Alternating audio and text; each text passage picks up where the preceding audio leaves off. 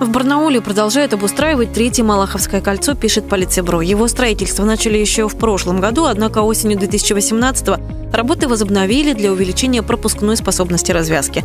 Подрядчик уже обустроил верхний слой асфальтобетона на более чем 20 тысячах квадратных метров. На участке нанесли разметку, завезли грунт для газонов, обустраивают освещение, пешеходные зоны и островки безопасности. Работы планируют закончить в следующем году. Вскоре планируют обустроить озеро Телецкое, точнее его набережные, информирует московский комсомолец Барнаул. На эти цели потратят 465 миллионов рублей. Сейчас администрация Турачакского района Республики Алтай ищет подрядчика для строительства набережных в селах Иагач и Артыбаш. Объявлен соответствующий конкурс. Подрядчик должен обустроить пирсы и штрафстоянки для судов. Итоги конкурса подведут в конце ноября, срок окончания работ 2024 год.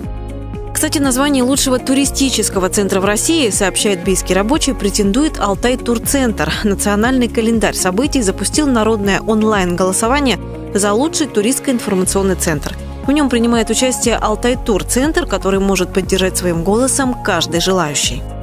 В десятку лучших в России уже попал алтайский кондитер. Об этом написали аргументы и факты. Финал всероссийского конкурса профмастерства «Лучший по профессии» прошел в Тамбове. Кондитер из Барнаула Анастасия Агаркова, самая юная участница, выступила в финале и оказалась в десятке лучших.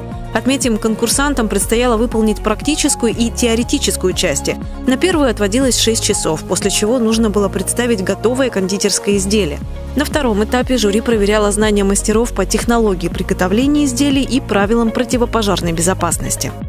В Барнауле открыли гостиницу «Лофт» для шопинг туристов Отель, который ориентируется на людей, приезжающих в краевую столицу на шопинг, появился на проспекте Космонавтов.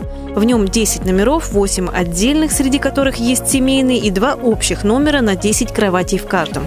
Одновременно заведение может принять 38 человек. В номерах есть необходимая бытовая техника и мебель, кондиционеры, бесплатный Wi-Fi. Обстановка выполнена в стиле лофт. Стоимость одного места варьируется от полутора до двух тысяч рублей в сутки.